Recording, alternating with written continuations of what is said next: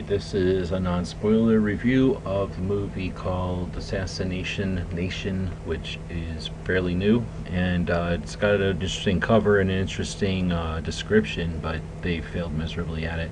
I'm not a big fan of this one. I was hoping that it would be pretty good, but it isn't. And even worse, they took what could be a good idea for a movie and really just failed at it. So it's pretty weak. Uh, it's not filmed well. It's very distracting. The plot is kind of stupid, and it could have been. It had a good general plot, but this the specifics of it just ruined it, and it wasn't that good.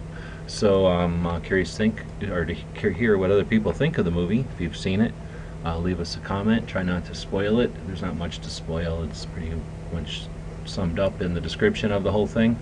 But uh, curious to think what other people think of how they executed it. Stay tuned for more.